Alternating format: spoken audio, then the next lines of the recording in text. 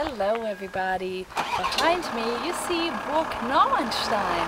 We're here today to let you know it was built in the 12th and in the 1400 uh, century.